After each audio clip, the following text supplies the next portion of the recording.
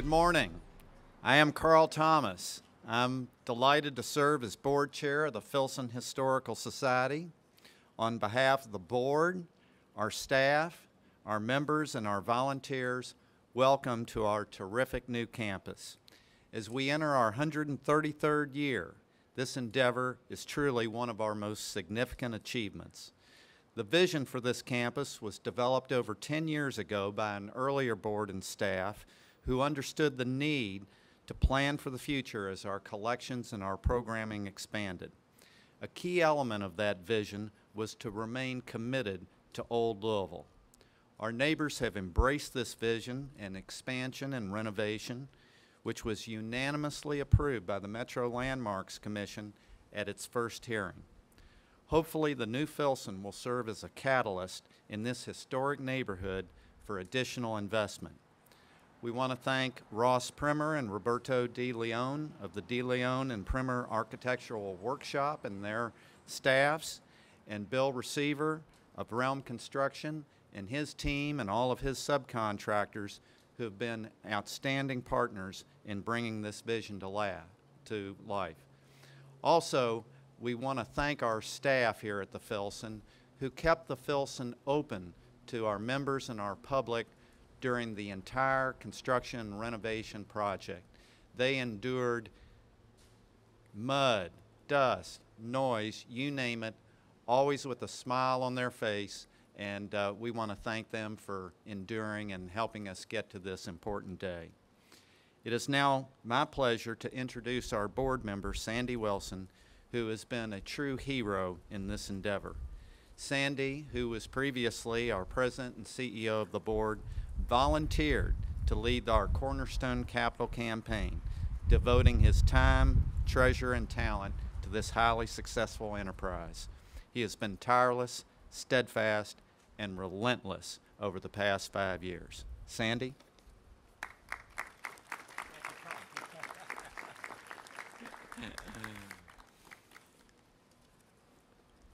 Thank you, Carl, and I want to reiterate Carl's welcome also to all of you and also to uh, Congressman Yarmuth, who's here, and Mayor Fisher, Councilman James, and uh, it really is exciting to be uh, all together this morning. Um, Carl mentioned I've been chair of the Cornerstone campaign, but I really feel it's been both a privilege and a pleasure um, to have held that position, a privilege because of all the remarkable people I got to work with um, and this incredible organization, the Filson Historical Society, one of the very best in the U.S., really. Um, a great uh, community treasure, a regional treasure, and uh, uh, it was always uh, great to be able to go out and uh, express my enthusiasm for the Filson to our donors and potential donors.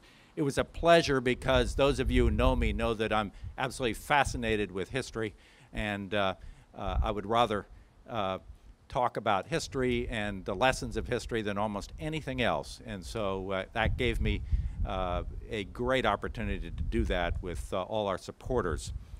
Um, Carl mentioned that this uh, project really began a while back, and we like to think of it as a transformation that began perhaps 30 years ago when we moved uh, our headquarters to the Ferguson Mansion right over there in Old Louisville and this has been just a fantastic historic preservation neighborhood uh, to be a part of. And we are just delighted to be able to expand right down here in this very, very important part of our community.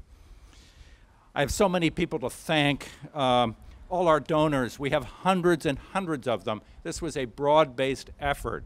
Uh, donors from throughout the community, from throughout the state, from throughout the region, and even throughout the nation and even from overseas. So we've, we've uh, had tremendous support from all different points of the compass, and that was particularly gratifying. Uh, we've raised over $12.4 million. Uh, and I really want to, this is kind of an aside, but an enthusiastic aside. The campaign is still open. We have not closed the books on the campaign, so if anybody feels particularly moved to uh, get in on the action, we can, we, can, uh, we can make that happen. So you could see me or Carl or Craig or Rick Anderson, the Director of Development here, and, and uh, uh, uh we have a a special place for anybody else who wants to join in right now.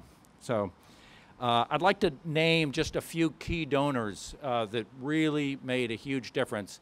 If I had all day, I'd name all the donors, but we don't have that time. But um, we are standing in front of the Owsley Brown Second History Center, which has been named in memory and honor of the late Owsley Brown, great community leader, great philanthropist, great businessman. Um, I'll wait for that truck to pass. There we go. Uh, Owsley and uh, his wife Christy Brown were among our very earliest supporters and understood immediately the importance of this project. Thanks to Christy Brown and her children, Owsley Brown III, Brooke Brown Barzin, Augusta Brown Holland, and their spouses, uh, we have been able to build this fantastic new building and renovate the Ferguson, and their generosity is greatly appreciated. They were truly leaders in this, in this endeavor. Uh, our new lecture hall, which is right behind me here on the west side of the building, is named the Dan and Francis Street Hall, and it has been named by Bill and Lindy Street in memory of Bill's parents. We could not be here today without Bill's leadership, generosity, and wisdom throughout this entire process, and we're so grateful to him. Some other extraordinarily generous donors, major donors from the foundation and corporate world are the James Graham Brown Foundation, which early on in this process put forward a million dollar challenge grant that I'm happy to say was snapped up by other supporters, eager to take advantage of that. The William Wood Foundation, the Carriage House, which is right over there, which has our new entrance to the Filson campus, uh, has been named for William Wood. And they were enormously generous, and we're grateful to them. The CE&S Foundation and David and Betty Jones, the Brown Forman Corporation, Humana Foundation, Gheens Foundation, the Paul Ogle Foundation of Southern Indiana, they were all incredibly important partners with us in this effort. I have to mention the Filson Board, currently led by Board Chair Carl Thomas, whom we just heard from. But uh, throughout much of this effort, uh, Mac Brown was board president, and he was enormously generous with his time and uh, with his uh, skills and uh, really helped move this process forward as well. Uh, Carl already mentioned the incredible staff and volunteers at the Filson. Uh, I want to echo what he said. Uh, to be able to keep the Filson open throughout this entire project was something truly remarkable. Uh, we continued to serve researchers and scholars. I like to think of them as, and visitors, I like to think of them as customers throughout uh, the entire construction project. And they did endure a great deal and were enormously patient and, and tremendously helpful in, in making, this, making this happen so well. Um, the staff, and I want to recognize a couple of people in particular there, uh, was headed uh, for about 22 years by Mark Wetherington, I think who's here today. Uh, and he retired in 2015, but he was director, he's fine historian, and uh, he was succeeded by our outstanding new president and CEO, Craig Buthod, who uh, used his considerable energy, skills, uh, knowledge, uh, to help bring this project home, and uh, we are very, very grateful to him as well. Um, I'd like to recognize and, and again follow Carl on this, our brilliant and creative architects, DeLeon and Primmer Architecture Workshop, whose exciting and welcoming design reflects the Filson's values of openness and accessibility and really says, come on in to everyone throughout our community and region. And we have to remember also the construction company, Ware Realm and Bill Receiver, because uh, without them, no concrete would have been poured, no bricks would have been laid, nothing would have happened. So thank you so much for your hard work on this. To wrap up, um, let me say that this transformative expansion is really just the beginning. Um, I could borrow shamelessly from Winston Churchill's words from a different time and place, years and years ago. This project is most definitely not the beginning of the end for the Filson, but rather for the Filson, the end of a new beginning and we can't wait for the fun to begin. Thank you very much, and uh, let me call on Congressman Yarmuth to come up and say a few words. So it's, uh, so, so. Thank you, Sandy, and it's a great, uh, uh, great opportunity for me and an honor to be a part of uh, this terrific event.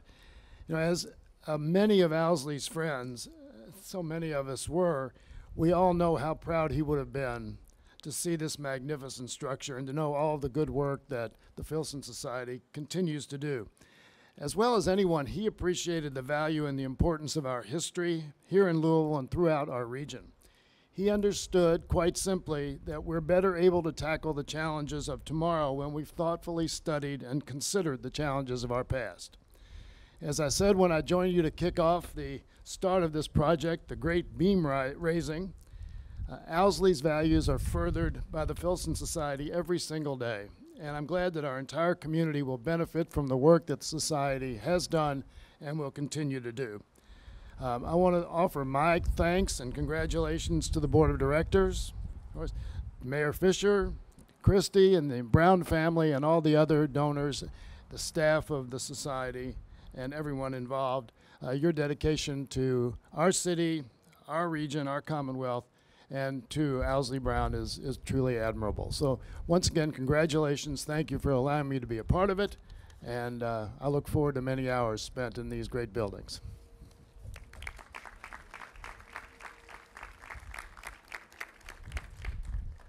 Thank you, John. Uh, it's, and thank you for everything that you do for our community. Uh, it's now my pleasure to introduce uh, someone who needs no introduction, who does a lot for our community as well, Mayor Fisher.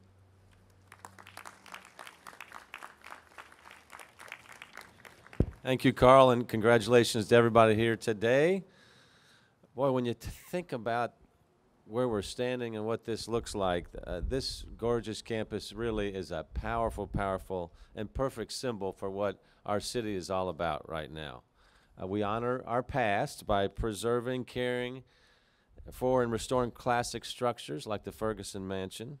And more than just restore them, we put them to work. There's been plenty of work going on here as well.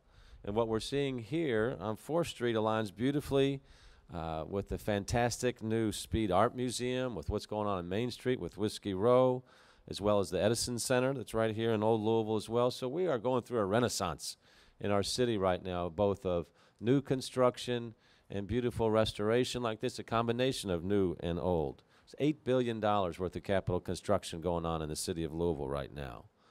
This new Filson joins the historic mansion with the Owsley Brown II History Center, named as all of us have said, for a dear friend of ours and one of our city's most uh, generous, uh, distinguished, and compassionate citizens that the city of Louisville has been blessed to ever have.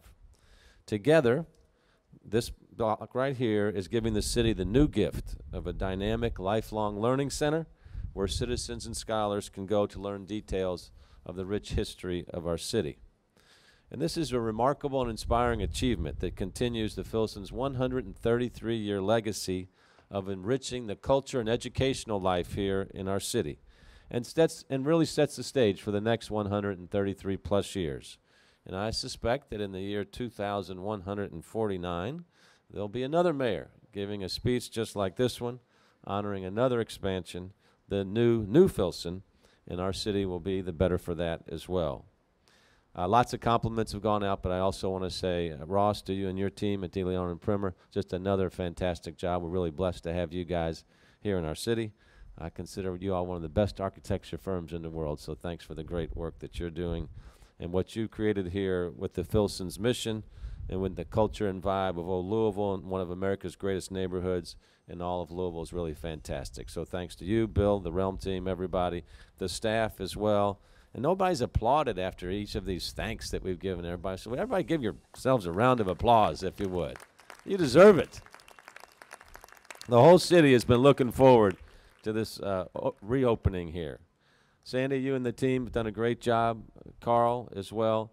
It's not easy to raise money, but you guys made it look really easy. You never sweated. You knew you were going to get there. So great job to that. The Brown family, as do, does so many wonderful things for the, our community. So Christy and team, thanks to you guys as well.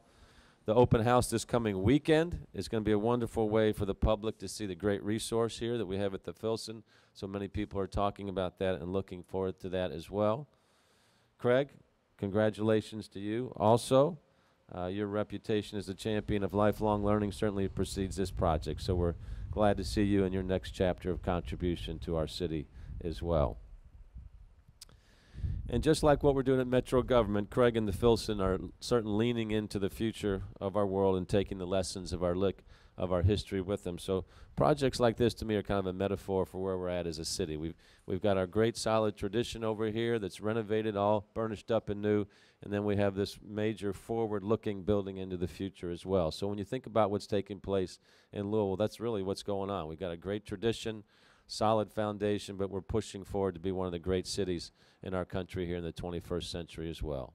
So great job to everybody, and congratulations to all. Thank you.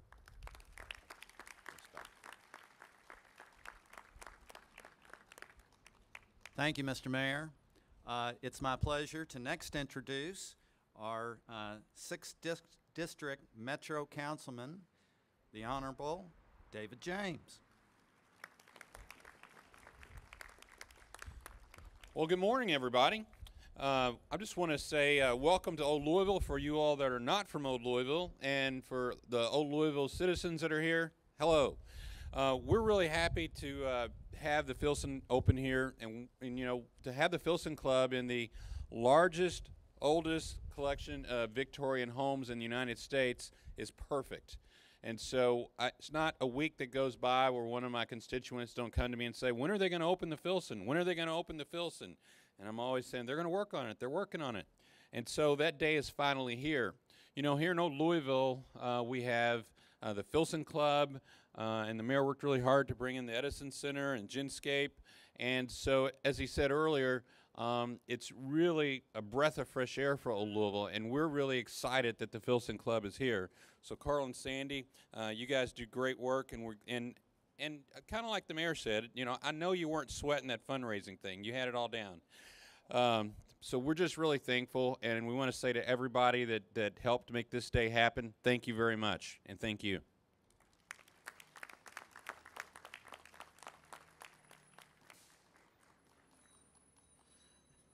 And last and probably least, I'm Craig Buthod. I'm the president and CEO of the Filson. I'm, my role is to tell you a little what to expect to see when you cross the threshold into the new building, and then we'll take a tour all the way through the whole campus. Through all of it, I want to suggest that you think about a theme of the juxtaposition of old and new, because throughout you will see how history leads to the future. You'll see it physically in the architecture, and in the galleries, you'll see it represented by materials from our collections. But practically, as you walk in, turn right into the great street hall, which is where we'll have most of our lectures in the future. And I'm going to tell you something really swell about each of the features. Turn right, and you'll in that room you'll see that the ceiling and the wall panels almost shimmer and show the ripples, as I understand from the architects, that represent the Ohio River. It's an amazing bit of woodworking that you won't see anywhere else in the world. Also, note in that room donor panels where people have uh, given us a contribution to have their name permanently mounted in the room. Uh, you'll like that. In this grand hall, you'll see a monumental staircase that is a fabulous work of art just in itself. We're almost finished with it. We have a, just a couple of weeks left to add the last few panels. But think about it. The, the fabricators tell me that it's two miles of stretched out wood, each of those planks of wood no longer than three feet, and each one different from the one next to it. So take a close look at that and take the stairs. Along the stairs, you'll see an exhibit of photos from our collection that you can view only by taking the staircase. On the uh, above the street hall is Caperton Hall, and that's um, a really beautiful room that's about as big as Cape as Street Hall, but it has a different visual feature. The glass all the way around, the top allows you to see into the treetops and see the sky over Old Louisville. It's really lovely too. So take the stairs on up and see that. On the nor- on the east side is the stacks, uh, five floors of stacks for storage of our, our archival materials. Extremely secure, they're um, temperature and humidity controlled. And while you're in there, give the compact shelving um, crank a spin, and you'll get to see how we compress six into six rows, uh, one each. Well, that's that's not really the way it works. How we we allow only one aisle for six rows of shelves, and it's magic. And see also the hanging racks for our art. What you may not have known about the Filson is we have a fabulous art collection. And you'll see some of that in the in the next two buildings. So take a look. If there's any door that's closed, ask a staff member. We'll open it for you if we can find the key. Everything is open today for anybody's curiosity and inspection. In the carriage house, well, the pedway will take you to the carriage house. Third floor pedway crosses the alley, and it's high enough that fire trucks and moving vans and garbage trucks can all proceed down the alley. And we're really grateful to the neighbors. We had to close the alley during construction, and now it's back open again. Thank you for indulging us. Take the pedway into the carriage house. And in the carriage house, I'll cite a couple of features. Um, it really was the carriage house. It was built two years before the mansion, and there was a great Courier Journal story about it as one of the fine carriage houses in Old Louisville. Well, there was no house attached to it at that point, but it was a fine carriage house. In that carriage house, if you look up in the lobby, you'll see two brick fireplace surrounds overhead. And those are the fireplaces from the apartments that the carriage drivers lived in. So when you stand in that alley, look back and look high. And then in the gallery in the carriage house, we have a terrific collection of photographs that we selected. Thank you, Heather Potter, our curator for that exhibit, that we selected for their visual impact. And they're part of a terrific collection of photographs in the Filson's collection. So going from the carriage house into the mansion, it takes little steps or elevator up to the next level. The mansion, the first room you'll enter is the Bingham Gallery uh, is the Nash Gallery. The Bingham Gallery is the one that has the photos in it. In the Nash Gallery, we have an exhibit today of presidential history, presidential elections, and the people who were allowed to vote during each of those elections as our country has worked its way to allowing universal suffrage. It's a terrific exhibit. I even got to donate my Pat Paulsen for President button for, for those of you old enough to remember Pat Paulsen. Um, and then from that gallery into the carriage, into the mansion, you will see that we have been able to restore much of the original uh, beauty and art of the mansion from when the owners um, built it and lived in it. And ask staff about particular pieces of furniture because several of them were actually built for that space. And then as you move your way up in the mansion, on the second floor is our library and research center, and you'll enjoy uh, the juxtaposition of old and new in that space as well. On the third floor is our offices, but you're welcome to see those today too. Coming up over the next few weeks, we have a concentrated schedule of programs where we will have a program on the um, Louisville or Kentucky during World War I. We'll have a, a two day seminar on the U.S. Constitution and how an 18th century document lives, drives our lives today. We'll have a series of four lectures on Muhammad Ali. We have program after program after program, and they're all free during our opening expansion. This Saturday from 1 o'clock till 9 o'clock, activities all over the whole campus, and we'd love to see everyone in the public come for that. Um, I have lots of time to answer your questions if you want individual interviews. So, but for right now, let's cut a ribbon. All right, there we go. And we have souvenir ribbons for five of you.